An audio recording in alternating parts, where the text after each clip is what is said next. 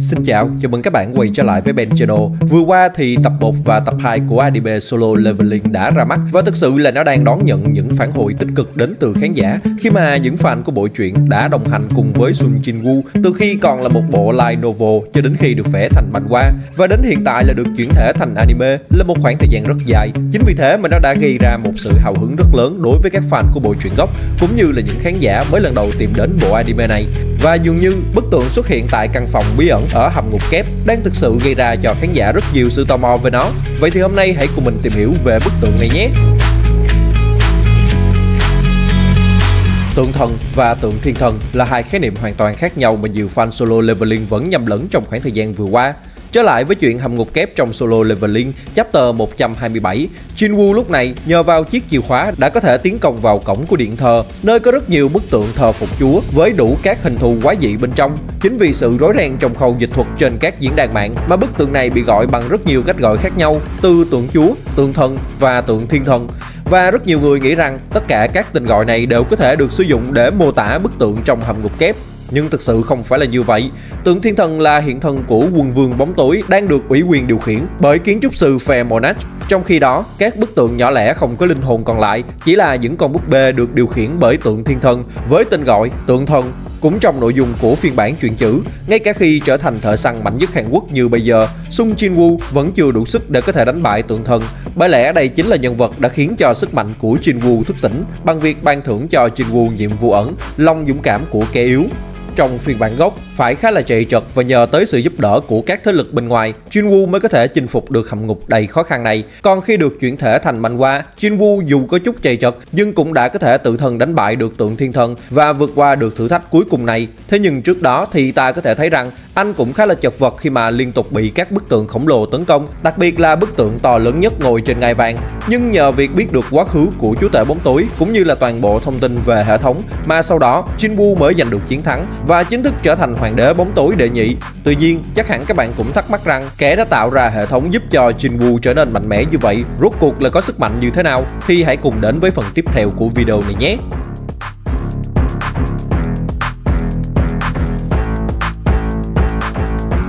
Năng lực và sức mạnh của kiến trúc sư Quay trở lại với lần đầu Sung Jin Woo đi vào căn phòng, nơi được gọi là đền thờ Catenon. Ở lần đó, tất cả mọi người đều không biết rằng họ đã bước vào chỗ chết khi mà căn phòng này chính là nơi tiễn gần hết nhóm thợ săn của Sung về nơi chính suối. Điều đầu tiên mà chúng ta có thể thấy đó là một căn phòng cực kỳ rộng lớn và có một vòng tròn phép ở giữa nhưng nó không hoạt động. Bên cạnh đó, vây quanh căn phòng là những bức tượng khổng lồ và chúng cầm trên tay những món đồ khác nhau. Ngay sau khi cánh cửa căn phòng được đóng lại thì một cuộc tàn sát bắt đầu và chính nhờ vào việc Sung Jin Woo đã hiểu được những gì khắc trên phiến đá mà bức tượng thiên thần đang cầm. Nhờ đó mà anh đã cứu sống được rất nhiều người, cùng với đó là họ bắt đầu vượt qua từng thử thách để rồi cuối cùng mở ra cánh cửa của căn phòng này và thoát chết. Tuy nhiên, chúng ta có thể thấy rằng đó chỉ là thử thách hay đúng hơn là cách mà kẻ tạo ra hệ thống đang chơi đùa với những người đồng đội của Sung mà thôi. Đồng thời cũng là sự thách thức của hắn đối với Sung Jin Woo nhằm kiểm tra sự dũng cảm của anh. Còn thực sự thì đối với hắn, những người khác có bị giết chết hay không thì cũng chỉ giống như trò tiêu khiển cho kẻ đã tạo ra hệ thống là kiến trúc sư mà thôi.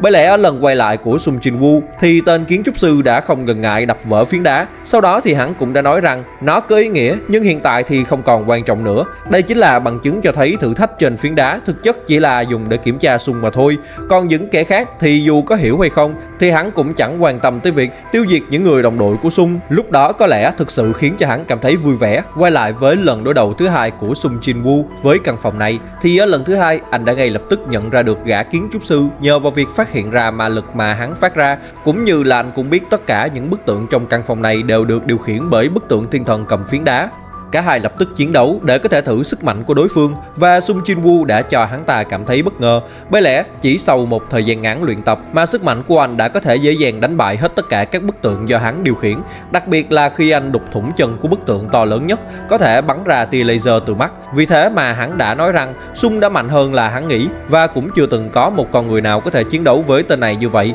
Còn dưới góc nhìn của Sung thì đây là một đối thủ đáng gờm, nhưng không thực sự khó nhằn với anh. Gã kiến trúc sư thực sự là một đối thủ thủ vô cùng đáng gờm khi mà tốc độ lẫn sức mạnh của hắn không kém cạnh gì Sung Jin Woo. Mở đầu trận đấu chính thức, hắn lao đến với một tốc độ cực nhanh và tung ra một cú đấm rất mạnh, hất bay Jin Woo, văng đi vỡ nát cái bức tường, khiến cho anh học cả máu.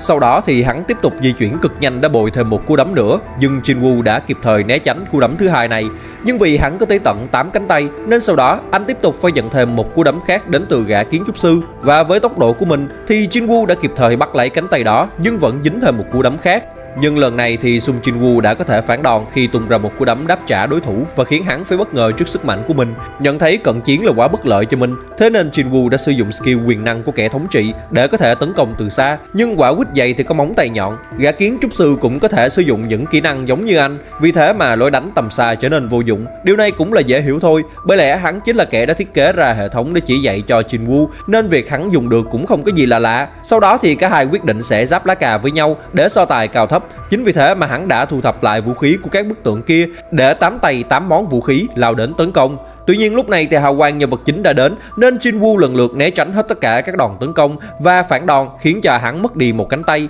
Lúc này thì có vẻ như gã kiến trúc sư nhận ra được điều gì đó khi hắn biết được lý do vì sao mà Sung Jinwoo được chọn. Hắn điều khiển những bức tượng đã bị anh đánh vỡ và ghép chúng lại, sau đó điều khiển chúng lao đến tấn công Jinwoo. Tuy nhiên lúc này, Jinwoo càng đánh thì càng trở nên nhanh hơn và mạnh hơn, làm cho gã kiến trúc sư phải tức giận, dù cho hắn đã nỗ lực hết sức để đánh bại anh. Các bức tượng lao đến tấn công tới đâu thì đều bị Sung Jinwoo vả nát tới đó và thậm chí là lần lượt từng cánh tay của gã kiến trúc sư cũng bị anh chặt đứt. Duy nhất chỉ có bức tượng với tấm khiên, La Sung không thể vượt qua được tấm khiên của nó. Nhưng rồi sau đó, lợi dụng sơ hở thì anh cũng đã tiêu diệt thành công bức tượng này bằng một đòn chỏ từ trên xuống. Chỉ còn lại gã kiến trúc sư bị cục tay. Giờ đây mọi thứ đã trở nên quá dễ dàng khi mà anh nhanh chóng đánh bại được hắn và hoàn thành nhiệm vụ của hệ thống để lấy lại ký ức của chú tể bóng tối. Tưởng như mọi thứ đã dừng lại ở đó thì không, vì nhóm thợ săn của Hein đã vào đến căn phòng để cứu Sung Jin Woo, nhưng họ ngay lập tức ăn hận hành bởi gã kiến trúc sư này khi mà hắn đã lập tức cho bốn thợ săn lên bảng đếm số chỉ trong nháy mắt. Phải nói rằng sức mạnh của hắn ta quá là lớn khi mà ao trình hoàn toàn tổ đội gồm hai thợ săn cấp S là Hyin và Jongin cùng hàng loạt các thợ săn răng A. Thậm chí là Hyin còn bị kiến trúc sư tấn công và trọng thương, trong khi đó đồng đội của cô thì lần lượt hy sinh. Chỉ đến khi Sung Jin Woo quay trở lại và tiếp tục chiến đấu với tên kiến trúc sư thì mọi thứ mới được giải quyết mà thôi. Nhờ việc đã sở hữu hắc tâm mà giờ đây Sung Jin Woo dễ dàng tiêu diệt tên kiến trúc sư hơn lần đầu. Và như vậy, các bạn của anh mới có thể toàn mạng mà rời khỏi căn phòng. Có thể thấy sức mạnh của tên kiến trúc sư này thực sự quá là bá đạo khi mà hắn chỉ kém Sung Jin Woo một chút mà thôi. Chúng ta cũng có thể thấy tốc độ sức mạnh và cả khả năng sử dụng tuyệt kỹ của hắn gần như là ngang ngửa với Sung Jin Woo vào thời điểm cả hai lần đầu đối đầu với nhau. Thậm chí là hắn đã gây ra rất nhiều khó khăn cho nhân vật chính và khiến cho anh phải đổ máu khi chiến đấu với hắn. Sau đó thì hắn tiếp tục một mình cần luôn cả tổ đội gồm hai thợ săn cấp S và các thợ săn cấp A một cách cực kỳ dễ dàng và nhàn hạ. Thậm chí Chongin đã nói rằng lối thoát duy nhất mà họ có đó chính là đánh thức Sung Jin Woo. Từ đó có thể thấy sức mạnh của gã kiến trúc sư này là khủng khiếp như thế nào. Ngoài ra thì hắn còn một khả năng nữa, đó chính là can thiệp vào hệ thống và khiến cho Sung Jin Woo mất đi toàn bộ sức mạnh mà anh đã luyện tập có được. Tuy nhiên thì vì hệ thống của hắn có quá nhiều lỗi nên là anh Sung đã sớm lợi dụng lỗi để chiếm đoạt luôn quyền kiểm soát của gã kiến trúc sư, từ đó ngăn chặn quyền truy cập của hắn đối với hệ thống do chính hắn tạo ra và cuối cùng là tiêu diệt luôn gã kiến trúc sư này. Vậy thì cuối cùng, bức tượng thần cầm phiến đá đó hay đúng hơn là gã kiến trúc sư này là ai mà hắn lại tạo ra hệ thống để giúp đỡ cho Sung Jin Woo có được sức mạnh thì chúng ta sẽ nói đến vai trò của hắn trước nhé. Kiến trúc sư là một trong số những bài tôi trung thành của hoàng đế bóng tối Monarch, cũng chính là hoàng đế bóng tối đầu tiên. Sau khi các hoàng đế khác lên kế hoạch biến trái đất thành chiến trường thì chúng cần tìm một vật chủ là con người để có thể đưa sức mạnh vào họ, sau đó thì mới tái sinh tại trái đất để chiến đấu với những kẻ thống trị. Khác với các hoàng đế khác thì hoàng đế 4 tuổi có sức mạnh rất lớn, là kẻ điều khiển cái chết Vậy nên, trong suốt một khoảng thời gian rất dài, hắn không tìm được cho mình một vật chủ nào và đã có dự định bỏ cuộc. Vì thế mà gã kiến trúc sư này đã xin phép hắn sẽ giúp cho vị vua của mình tìm ra được một vật chủ mới phù hợp hơn thông qua hệ thống do hắn xây dựng. Từ đó qua các luân hồi thì hắn luôn thử để tìm cho bằng được, kể cả hoàng đế bóng tối có thể chọn để trở thành vật chủ. Nhưng chỉ khi đến lượt của Sung Jin Woo thì hoàng đế bóng tối mới chấp nhận anh. Mặc dù theo chính gã kiến trúc sư, Jin Woo không phải là một kẻ phù hợp khi mà anh quá yếu. Còn về hệ thống thì kiến trúc sư đã tạo ra các bài luyện tập cũng như là mô phỏng lại toàn bộ những môi trường